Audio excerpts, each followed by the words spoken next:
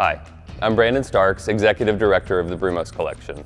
We'd like to welcome you to today's installment of Inside the 59, where we try to give some insight into the people, the history, and the cars that make up our collection. The Bugatti Type 35 was one of the most significant race cars of all time. It amassed over a thousand wins throughout the 1920s and was a real workhorse.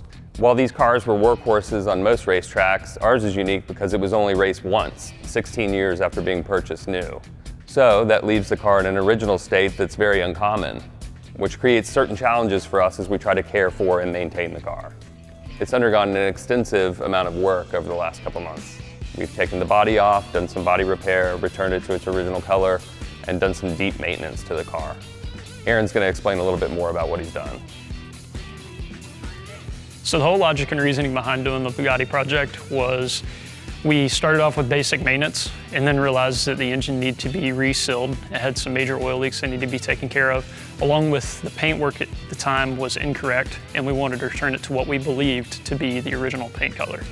And so within this process, the car was torn down to fix leaks and at that time we decided, okay, we're gonna go ahead and do a partial restoration on this vehicle.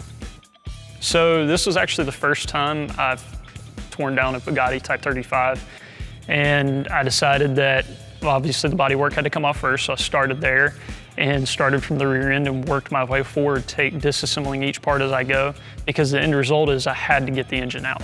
And to do so, it had to be slid out, so everything behind it had to come out first. And then it all went from there. So my original plan for this car was to do the complete opposite of what I did when I disassembled it and start at the front and just slowly assemble the front axle, slide the engine in place, the transmission. Some of the bumps I found along the way were certain pieces of hardware needed to be corrected or uh, maybe remachined or fine-tuned and fitted better than what they were previously.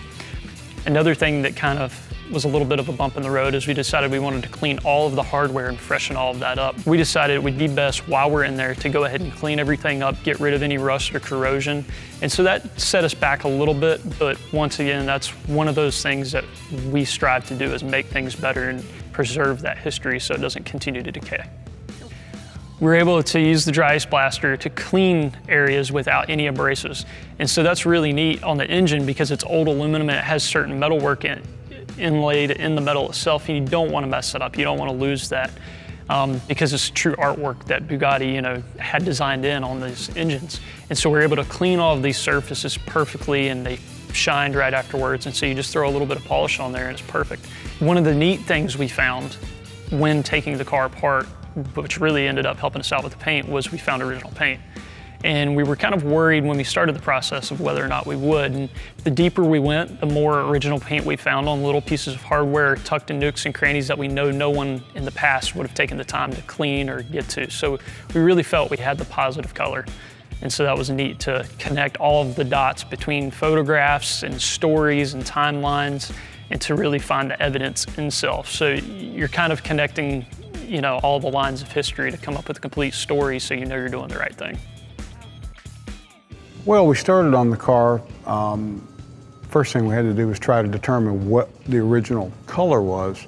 And um, about half of the frame on the car was still virgin. We polished that up in a few spots with compound, took it over to the paint store, had them match the paint.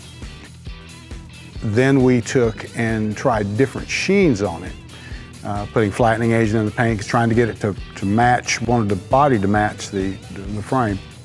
And that's kind of when we went from there. We had to remove a lot of body filler from damage from the past. Having to do things like tape up all the rivets to where they, they had been filled over before. Somebody had white Bondo, so now we're stripping all the Bondo out from around the rivets and then having to put masking tape over it. That was a challenge, but it was, uh, it was an interesting challenge.